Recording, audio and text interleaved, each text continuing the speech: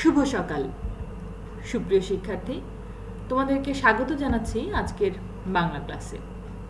আজ তোমাদের চারুপাঠ বইটির একটি গল্প নিয়ে কথা বলব।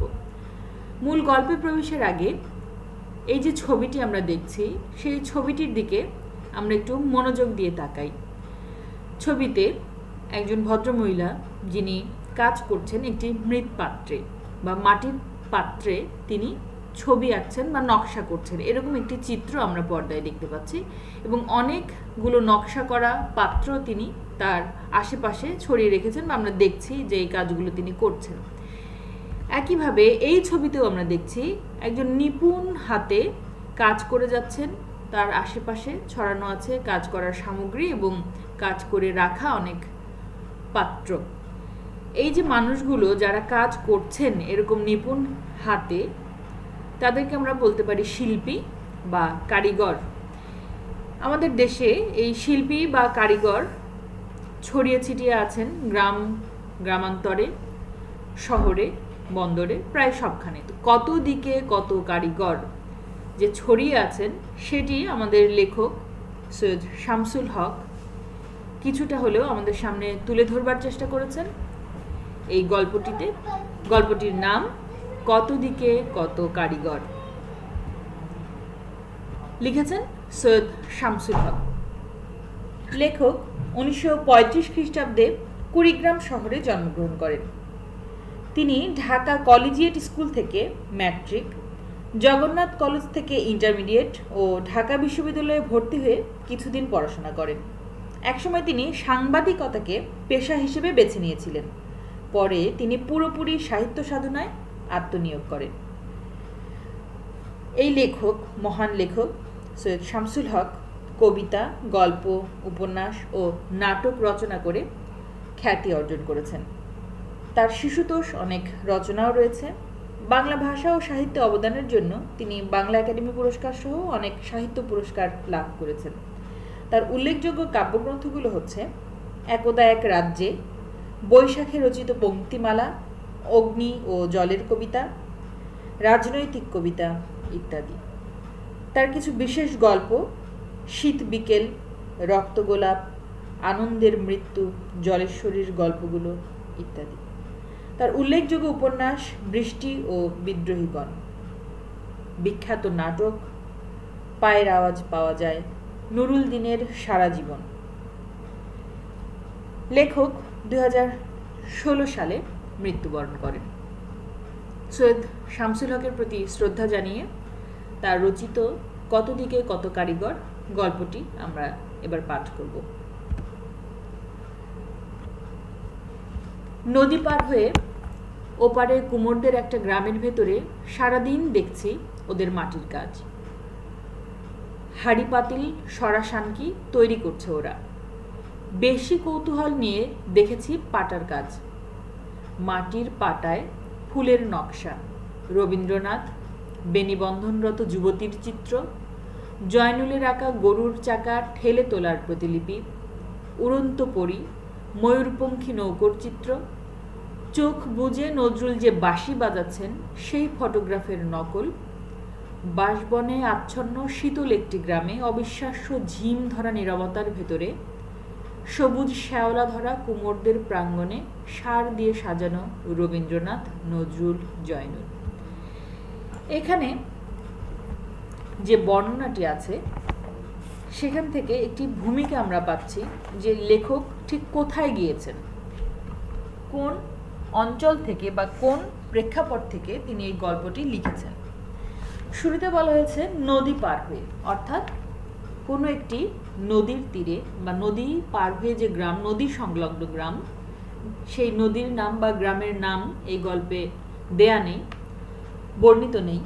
তো ধরে নিচ্ছি নদীর পাশে যে সাধারণ গ্রামগুলো থাকে, সেরকম কোনো একটি গ্রামে যেগুলো কুমারপাড়া নামে পরিচিত হয় বা গ্রামে প্রায় প্রতিটি ঘরেই এই একই কাজ করা হয়, কুমোরদের যে কাজ, সেই কাজ।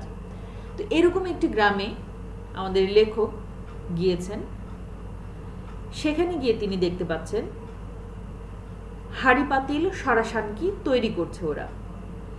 অর্থাৎ বিভিন্ন মৃৎ শিল্প বা মৃৎ নির্মিত, মাটি দিয়ে নির্মিত অনেক কাজ তারা করছে। এগুলো দেখে লেখকের অনেক কৌতূহল হয়েছিল, অর্থাৎ তিনি খুব আগ্রহী হয়ে কাজগুলো করা দেখছিলেন যে কীভাবে একখণ্ড মাটিকে একটি পাত্রের রূপদান করা যায়। এবং খুব বেশি কৌতূহল নিয়ে দেখেছিলেন তিনি পাটার কাজ, অর্থাৎ মাটির একটা পাটার উপরে কীভাবে নকশা তৈরি করা যায় সেই কাজগুলো। মাটির পাটায় ফুলের নকশা, রবীন্দ্রনাথ বা বেনিবন্ধনরত যুবতী, এই যে অনেকগুলো বর্ণনা এখানে দেওয়া আছে যে কিসের কিসের কাজ তারা করছে। বিখ্যাত কিছু ফটোগ্রাফির চিত্র তারা মাটির উপর, আমরা যেভাবে ক্যামেরায় ছবি তুলি, সেরকম একটি ছবি তারা মাটিতে অঙ্কন করছে বা মাটির উপরে সেই ছবিটির অনুরূপ করে একটি চিত্র তারা অঙ্কন করছে। এরকম একটি বাঁশবনে আচ্ছন্ন শীতল গ্রামে একটি অবিশ্বাস্য ঝিমধরা নিরাপত্তার ভেতরে লেখক এই কাজগুলো উপভোগ করছিলেন বা তাদের কাজ করাটাকে দেখছিলেন, অবলোকন করছিলেন। এই যে মাটি দিয়ে নির্মিত বিভিন্ন কাজ বা মাটির পাটায় আমরা বলতে পারি যে মাটির পাটার কাজগুলো কোনগুলো? এই যে দেখো, এখানে একটা মাটির একটি খণ্ড একদম সমান্তরালভাবে থাকবে এবং তার উপরে নকশা করা, বিভিন্নভাবে কাজ করা। এগুলো কুমোররা বা যারা এখন নিজেদের শিল্পকে অনেকখানি আধুনিক করে ফেলেছে, তাদের তৈরি বিভিন্ন কর্ম উপস্থাপন করা হচ্ছে। এখানে এই যে বিভিন্ন মনীষীকেও কিন্তু তারা মাটি দিয়ে শুধুমাত্র তাদের অভিজ্ঞতা এবং তাদের যে সৃজনশীলতা, সেটির মাধ্যমে মাটি দিয়ে একটি রূপ দান করেছেন, একটি ভাস্কর্য তৈরি করেছেন। আজকাল এগুলোর বিক্রি ভালো। সস্তায় ঘরের দেয়াল সাজাবার জন্য অনেকেই কেনে। এক একটা চিত্রের জন্য কাঠের উপর খোদাই করা নকশা আছে। তার উপর কাদার তাল টিপে টিপে পাটা তৈরি করছে ওরা। কাদার তালে ফুটে উঠছে নকশা। বাঁশের কলম দিয়ে সংশোধন করে পাটাগুলো ভাটিতে পোড়াবার জন্য তৈরি করা হচ্ছে। এই যে বিষয়টি যে ভাটিতে পোড়ানোর জন্য তৈরি করা হচ্ছে, এর অর্থ হলো এই যে কুমোররা কাজ করছে, কাজ করার পরে সেই কাজগুলোকে অবিকৃত রাখার জন্য একটি ভাটি বলা হচ্ছে যেটিকে, সেটি হচ্ছে এই মৃৎপাত্রগুলোকে পোড়ানোর স্থান। সেখানে এগুলোকে উত্তপ্ত করে, অতিমাত্রায় উত্তপ্ত করে মজবুত করা হয় যেন সেগুলো ভেঙে যেতে না পারে। এছাড়া এই যে কাদার তাল বলতে যা বোঝানো হয়েছে যে আমরা যেমন বিভিন্ন সময় রুটি বানানোর জন্য যেরকম মণ্ড তৈরি করি প্রথমে আটাকে পানির সাথে মিশিয়ে একটি মিশ্রণ তৈরি করি, একটি ডো তৈরি করি, ঠিক তেমনিভাবে শুধু মাটি হলেই হবে না, মাটিকে পানি দিয়ে বা প্রয়োজনীয় উপকরণ দিয়ে সেটিকে খুব মসৃণভাবে মেখে একটি মণ্ডপ তৈরি করতে হবে। সেটিকে বলা হচ্ছে কাদার তাল বা একতাল কাদা। সেটিকে কীভাবে রূপ দেয়া হচ্ছে, বিভিন্ন পাত্রের আকার বা আকৃতিতে, সেটি আমরা একটি ভিডিও চিত্রের মাধ্যমে এখন একটু দেখার চেষ্টা করব। সবাইকে সাথে থাকার জন্য আহ্বান জানাচ্ছি।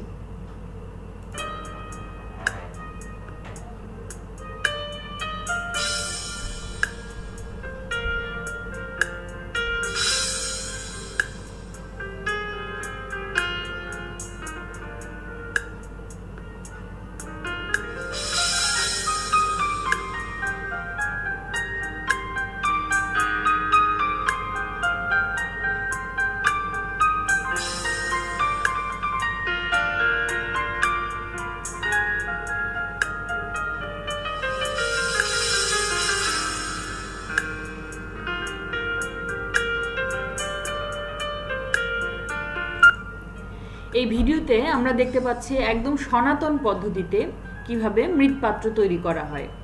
এই যে যন্ত্রটি এখানে চালনা করা হচ্ছে, এটি সম্পূর্ণ হাতে তৈরি। অর্থাৎ যে চাকাটি এখানে ঘুরছে, শিল্পী নিজেই সেই চাকাটি ঘোরাচ্ছেন একদিকে এবং অন্যদিকে তিনি পাত্রটি তৈরির দিকেও মনোযোগ দিচ্ছেন। অর্থাৎ একই সাথে তিনি যন্ত্রটিও পরিচালনা করছেন এবং পাত্রটিও তৈরি করছেন। এখন অবশ্য অনেক আধুনিক যন্ত্র আবিষ্কৃত হয়েছে, যার ফলে এই যে চাকা ঘোরানোর বিষয়টি, সেটি অনেকটাই সহজ হয়ে গেছে, সেটি এখন সম্পূর্ণই যন্ত্রচালিত। এর ফলে শিল্পী শুধুমাত্র তার পাত্রটির দিকে বেশি মনোযোগ দিতে পারেন। আমরা এ পর্যায়ে সেরকম একটি ভিডিও চিত্র দেখব।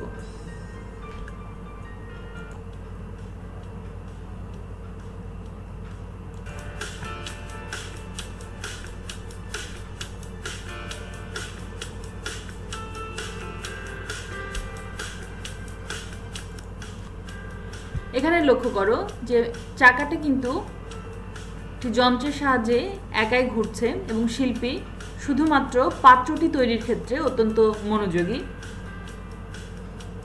আধুনিক প্রযুক্তি ব্যবহার করে তিনি মৃৎপাত্র তৈরি করছেন।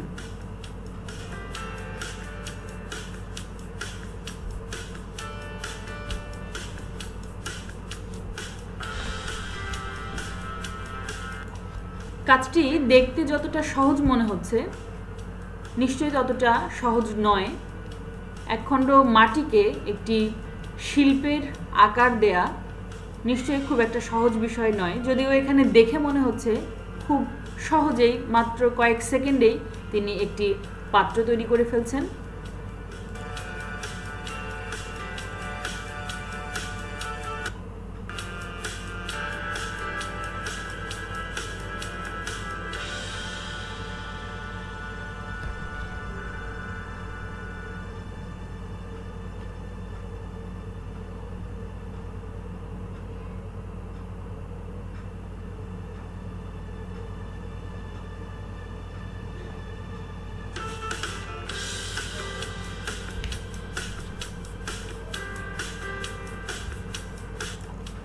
সম্পূর্ণ কাজটি কিন্তু শিল্পীর আঙুলের ভেতর, আঙুলের ছোঁয়ায় পাত্রটির শেপ পাত্রটির আকৃতি বা পাত্রটির সৌন্দর্য কেমন হবে, নকশাটা কেমন হবে সেটি কিন্তু তিনি নির্ধারণ করে দিচ্ছেন।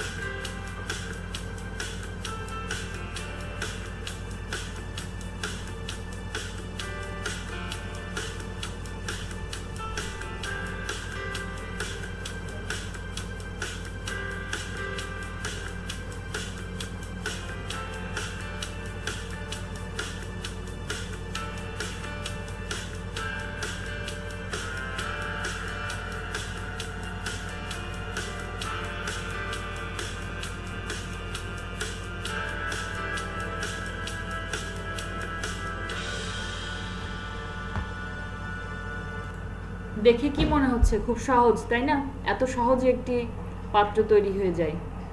ভাবা যায়? অত্যন্ত সহজ একটি বিষয়। নিশ্চয়ই তা নয়। শিল্পী অত্যন্ত দক্ষ এবং অভিজ্ঞ বলেই বিষয়টি তার কাছে এতটা সহজ।